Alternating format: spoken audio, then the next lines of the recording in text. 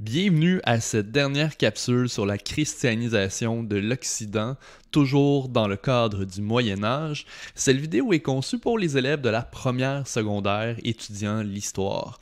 Ainsi, dans les prochaines minutes, nous aborderons les pèlerinages et les grandes croisades durant le Moyen Âge.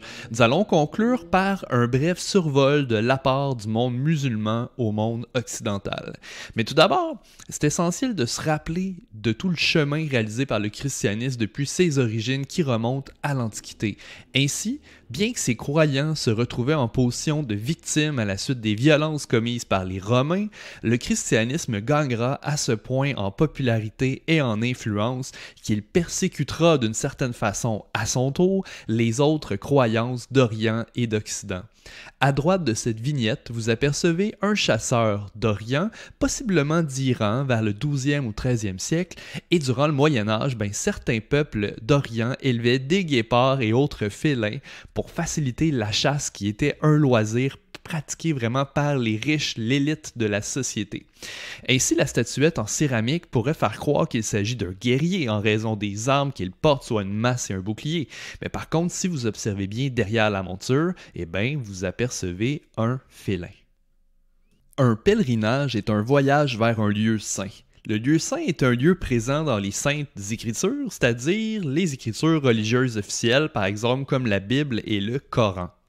Ainsi, ce lieu doit avoir été témoin d'un événement marquant dans la vie d'une personne reconnue comme un saint ou une sainte. Les croyants qui se dirigent vers ces lieux le font pour le ressourcement spirituel qui leur permettrait de pouvoir entrer en communication directe avec la divinité en question. Bien qu'aujourd'hui les pèlerinages existent toujours pour des raisons spirituelles, il importe de préciser que l'objectif de ces voyages était bien différent au Moyen Âge. Alors que certains croyants pouvaient effectuer des voyages pour des motifs moraux, euh, ainsi l'objectif principal était d'effacer les péchés commis pour accéder au paradis, d'autres allaient faire ces voyages pour s'attirer une faveur spécifique ou même appréhender des réussites dans leur vie, quelque chose de positif.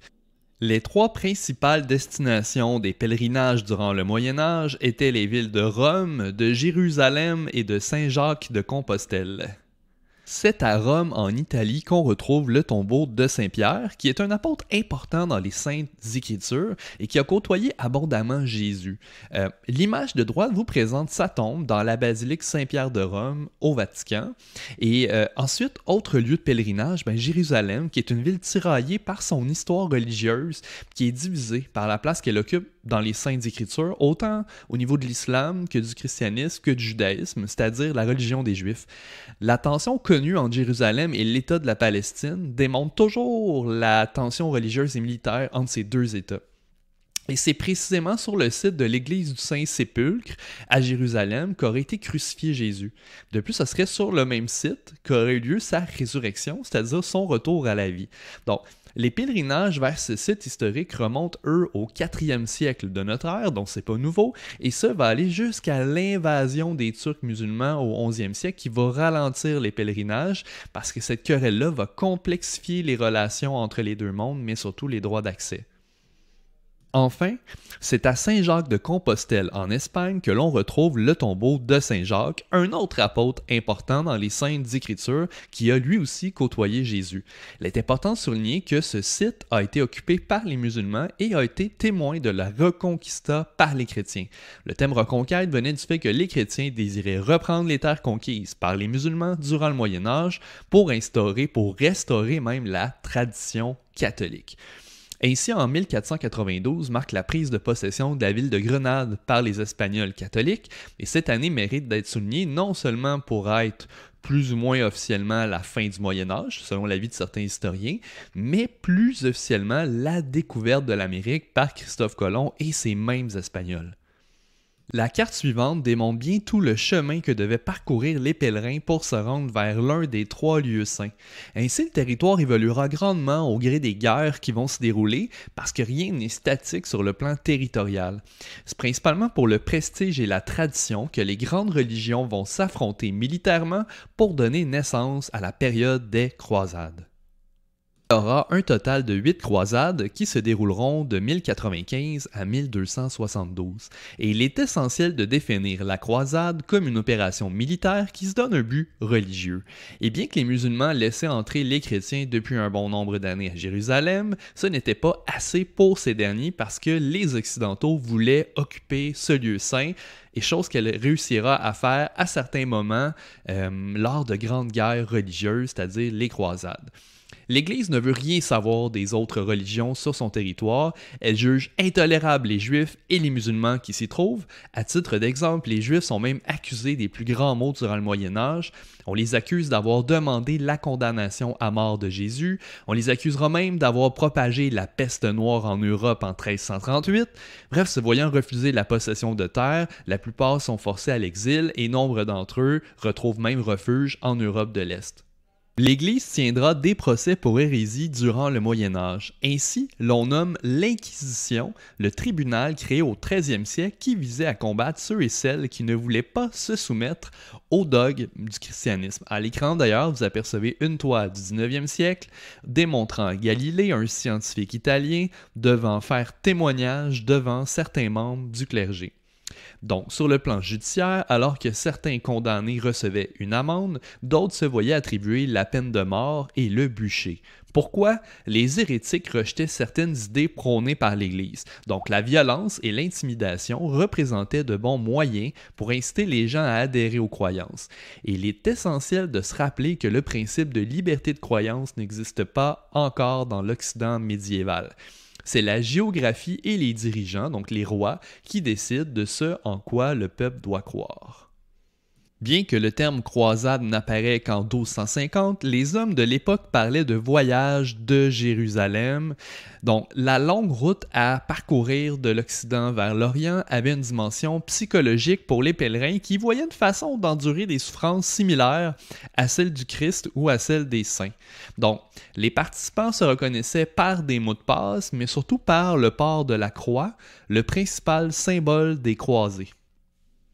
Bon, évidemment, après près de 200 ans de guerre sanglante, euh, le bilan est désastreux. Les croisades font des milliers de morts des deux côtés. Mais les conséquences des croisades sont multiples. L'influence de la culture musulmane se fait sentir à plusieurs niveaux sur la société occidentale. En effet, les connaissances et les savoir-faire qui sont issus des croisades favorise de nouvelles approches en médecine, en astronomie, en mathématiques, en littérature, bref, au sein de plusieurs domaines.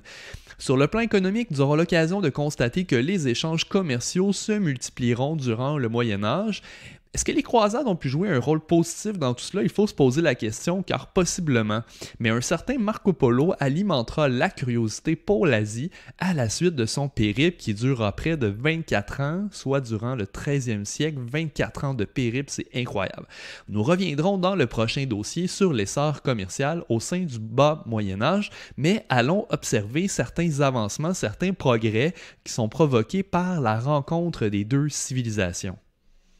Sur le plan médical, les musulmans favorisent l'esprit de découverte. De grands mécènes, donc des hommes riches, subventionnent les scientifiques. La religion ne cherche pas vraiment à contrôler l'innovation dans le monde musulman. D'ailleurs, ils sont fascinés par l'histoire antique, les Grecs surtout, et traduisent de nombreux ouvrages en arabe. À l'époque, il existe des salons de sagesse qui sont des espèces de bibliothèques ou des lieux de rencontre où l'on valorise les érudits, donc les savants, et c'est ce qui permet des progrès qui permettent de comprendre le fonctionnement du système circulatoire et même l'utilisation d'ingrédients naturels médicinaux pour traiter des maladies incurables. Donc à droite justement, vous observez une illustration tirée d'un traité de médecine qui date de 1224 et on y prépare des concoctions à base de miel, d'herbes et d'oignons pour traiter certains troubles digestifs. Bien que l'on ait tendance à dépeindre de l'intolérance et du conflit entre le monde chrétien et musulman, c'est grâce à la cohabitation des deux univers religieux en Espagne et entre autres à la frontière du Portugal que l'on doit de grands traités d'astronomie qui vont se répandre partout en Occident et en Orient. Les musulmans font de grandes trouvailles à l'endroit des œuvres antiques auxquelles ils s'intéressent. Et déjà à l'époque, certains traités d'astronomie relevaient plus de 1000 étoiles et pouvaient prédire la venue d'éclipses. Les musulmans se sont aussi intéressés à la cartographie en les perfectionnant et de plus, ils ont développé le concept de longitude et de latitude qui influencera les marins pour les siècles à venir. Le monde musulman influencera l'Occident sur le plan des mathématiques. Certains historiens racontent que c'est au 16e siècle que les Européens auront rattrapé le retard entre les deux civilisations. Donc, c'est aux musulmans que l'on doit un algèbre plus avancé pour résoudre des opérations mathématiques, et c'est surtout au monde arabe que l'on doit les chiffres actuels qui viennent remplacer progressivement les chiffres romains. Donc, à cet effet, n'aviez-vous pas remarqué que les Romains n'utilisaient pas le chiffre zéro? Donc, c'est une apparition à qui l'on doit du monde arabe. Enfin, la symétrie est un élément saisissant que l'on retrouve abondamment dans l'art musulman qui rend hommage à Dieu autant par la finesse des motifs que par le choix des couleurs et des matériaux. Le dinar que vous observez à droite est une unité de monnaie encore utilisée de nos jours dans certains pays du Moyen-Orient, mais qui provient de la civilisation romaine. Dernièrement, on doit aussi au monde musulman une grande tradition littéraire. Les riches mécènes arabes collectionnaient les livres au sein de grandes bibliothèques, et plusieurs Européens s'efforceront de traduire ces œuvres pour en retirer des savoirs. D'ailleurs, c'est cela qui va nous permettre de fonder les premières universités vers le 12e siècle en Europe. Sans le savoir, vous connaissez probablement l'une des histoires du conte des Mille et Une Nuits. En effet, Aladdin, qui fut adapté par Walt Disney, est une œuvre tirée de ce recueil de contes arabes. Suite à ce bref survol de l'apport culturel musulman, vous devriez être en mesure de constater que ces innovations brillent toujours au sein de la culture moderne. Bien que les croisades représentent souvent le pire de l'homme, elles ont surtout favorisé l'innovation et la collaboration entre les différentes civilisations. Donc aujourd'hui, grâce à cette présentation, vous devriez être en mesure d'expliquer ce qu'est un pèlerinage, de comprendre le rôle et la place des croisades dans la société médiévale, ainsi que tous les progrès apportés par le monde musulman et oriental au sein du monde occidental.